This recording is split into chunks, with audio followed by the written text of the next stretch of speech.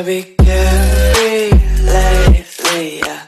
Just picking up daisies, got one too many.